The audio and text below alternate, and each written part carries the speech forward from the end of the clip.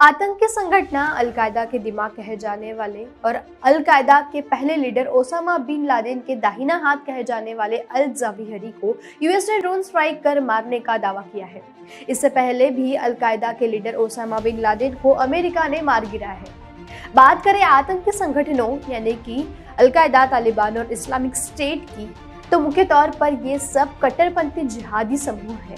जिहादी ये एक अरबी शब्द है। खैर, हालाँकि मोटे तौर पर बोलते हुए सब एक समान विचारधारा साझा तो करते हैं, लेकिन सब वास्तव में महत्वपूर्ण रूप से भिन्न है। इतना अधिक कि तीनों समूह अक्सर एक दूसरे के साथ भिड़ जाते हैं। इन तीन प्रमुख आतंकवादी संगठनों में अंतर है, लेकिन ये अंतर क्या है तो चलिए मैं बताती हूँ।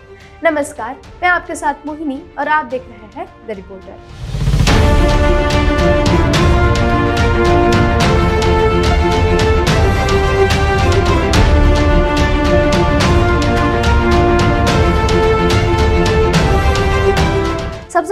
अलकायदा।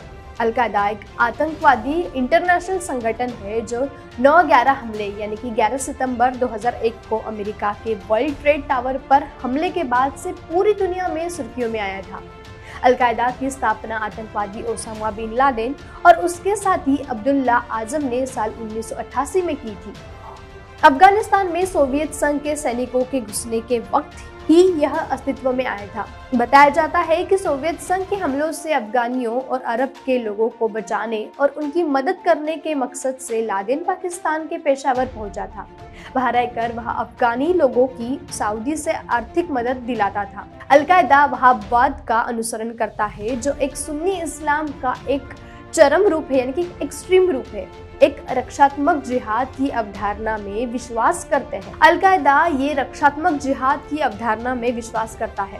कहने का तात्पर्य यह है कि उन लोगों से लड़ना हर मुस्लिम का दायित्व है, जो मुस्लिम या फिर इस्लाम का विरोध करता है।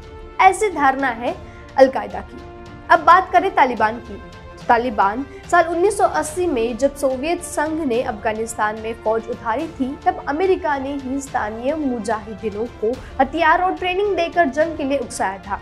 नतीजन सोवियत संघ तो हार मानकर चला गया, लेकिन अफ़गानिस्तान में एक कट्टरपंथी आतंकी संगठन तालिबान का जन्म हो गया। तालिबान इसका एक पश्तो जबान का शब्द है, यानी कि पश्तो भाषा में छात्रों, यानी कि स्टूडेंट्स को तालिबान कहा जाता है।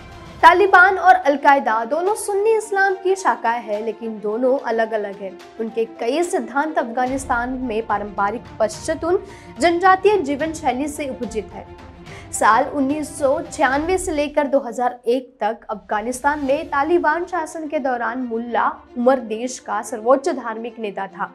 उन्होंने मूल रूप से पाकिस्तान और अफ़गानिस्तान के पश्चतून क्षेत्रों में शरिया कानून के माध्यम से शांति और सुरक्षा बहाल करने का दावा किया था। हालाँकि तालिबान समूह अत्यंत सख्त कानून लागू करता है, जिसके द्वारा उसके नागरिकों को कैसे रहना चाहिए, ये वो बताता है, जिससे 10 वर्ष से अधिक उम्र की महिलाओं को शिक्षा नहीं ले सकती। वो महिलाएँ शिक्षा नहीं ले सकती टेलीविज़न या फिर सोशल मीडिया पूरी तरह से प्रतिबंध लगा दिया गया है। आमतौर पर तालिबान एक ग्रुप नहीं है, बल्कि इसके कई ग्रुप्स हैं। पाकिस्तान में सबसे बड़ा और सबसे प्रभावी समूह है टीटीपी। यह वही ग्रुप या फिर समूह है जिसके शासन के तहत स्कूल जाने के लिए मलाला यूसुफजई की हत्या करने का प्रयास किया गया था। अब बात करें इस्लामिक स्टेट की। सो कॉल्ड इस्लामिक स्टेट को 2014 में मजबूती से स्थापित किया गया था। मोसुल पर कब्जा कर लिया गया था जब तालिबान कमांडरों ने आईएस नेता अबू बकर अल बगदादी के प्रति निष्ठा की शपथ ली थी। बात करें तालिबान और आईएस की तो दोनों सुन्नी इस्लाम के चरमपंथी रूपांतरों का अभ्यास करते हैं। तालिबान समूह देवबंदी शाखा का एक रूप सिखाते हैं, जो वास्तव में आईएस और अलकायदा द्वारा प्रचलित वहाबी सलाफिस्ट परंपरा के संस्करण से कम एक्सट्रीम है। आईएस सोशल मीडिया की ताकत का इस तरह से इस्तेमाल करता है कि यूट्यूब, ट्विटर और व्हाट्सएप का उपयोग करके वह समूह आतंकवाद का प्रचार और प्रसार करने में सक्षम है और वह कई युवाओं को पश्चिमी संस्कृति के खिलाफ अपनी लड़ाई में शामिल होने के लिए उकसाता है या फिर आमंत्रित करता है। अगस्त 2016 में यह अनुमान लगाया गया था कि लगभग 850 ब्रिटिश नागरिक आतंकवादी संगठन में शामिल होने के लिए देश छोड़कर चले गए थे।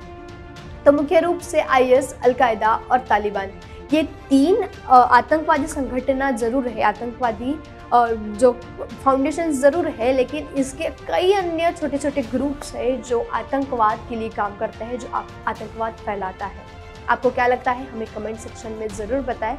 आगे भी ऐसे खबरें देखने के लिए देश विदेश के अपडेट्स के लिए देखते रहिए द रिपोर्टर